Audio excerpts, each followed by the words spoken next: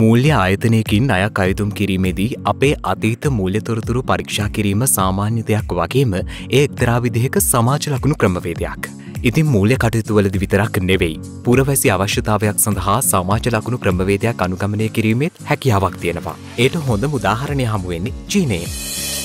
මූල්‍ය ආයතනයක අපි දකින හිත සරල සංකල්පය පියවර කිහිපයකින් ඉදිරියට ගෙනයාමේ පසුබිමක් චීනය සකසමින් ඉන්නවා. පුරවැසියකුගේ විශ්වාසය තක්සේරු කිරීමේ අරමුණින් පුද්ගලයකුගේ හැසිරීම් රටා බොහොමයක් ආවරණය වන පරිදි මෙම සමාජ ලකුණු ක්‍රමවේදය සකසන්නේ. මේ සමාජ ලකුණු ක්‍රමවේදය ක්‍රියාත්මක වෙන්නේ දත්ත පදනම් කරගත් ඩිජිටල් නිරීක්ෂණ පද්ධතියක් විදිහට. විවිධ ප්‍රභවයන්ගෙන් දත්ත රැස්කිරීමෙන් පස්සේ ඒවා සමෝහනය කිරීම හා විශ්ලේෂණය කිරීමෙන් පුද්ගලින් සහ සමාගම් යන ආකාර දෙකටම ලකුණු සම්පාදනය කෙරෙනවා. එහිදි සෑම පුරවැසියකුටම තමාටම සුවිශේෂයෝ කේතයක් ලැබෙන අතර එමගින් පුරවැසියාගේ කල්ක්‍රියාවානුව එකතු කරගත් ලකුණු දැනගන්න පුළුවන්. චීනයේ සමාජ ලකුණු ක්‍රමවේදය ක්‍රියාත්මක වන අන්දම බොහෝ තුරට රහසිකත බවත් ඇතැම් ජාත්‍යන්තර මාධ්‍ය වාර්තා කරනවා.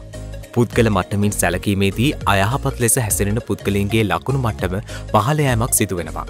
අයහපත් හැසිරීම් අතරට නීතිකරුක නැතිව රිය පැදවීම දුම්පානය තහනම් කළ ස්ථානවල දුම්බීම පමණට වඩා පරිගණක ක්‍රීඩා මිලට ගැනීම හා ඒ ක්‍රීඩා කිරීමට වැඩි කාලයක් අත කිරීම ව්‍යාජ ප්‍රෘති අන්තර්ජාලයට ඇතුළත් කිරීම නිරර්ථක දේවල් මිලට ගැනීම සඳහා මුදල් නාස්ති කිරීම හා ඒවා සමාජ මාධ්‍යවල පල කිරීම ණය සහ බිල්පත් ගෙවීම ප්‍රමාද කිරීම වැනිදේ ඇතුළත් වන බව සඳහන්. ගැටලුව වෙන්නේ ඉහත සඳහා නැතැම් දේවල් පුද්ගල මට්ටමේ නිරීක්ෂණය කරන්නේ කොහොමද කියලා. සමාජ ලකුණු ක්‍රමවේදය ක්‍රියාත්මක වන අන්දම සම්පූර්ණයෙන් නිරාවරණය වී නොමැති බව ඇතැම් මාධ්‍ය පවසන්නේ ඒ නිසා වෙන්න පුළුවන්.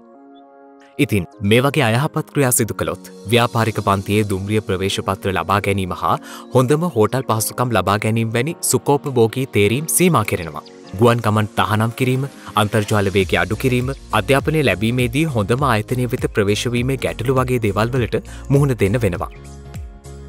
මේ ක්‍රමයට අනුව දෙදහස් දහට වර්ෂය අවසාන වන විට ගුවන් ගමන් වාර මිලියන දා හතයි දශම් පහක් මිනිස්සුන්ට තහනම් කරලා තියෙනවා.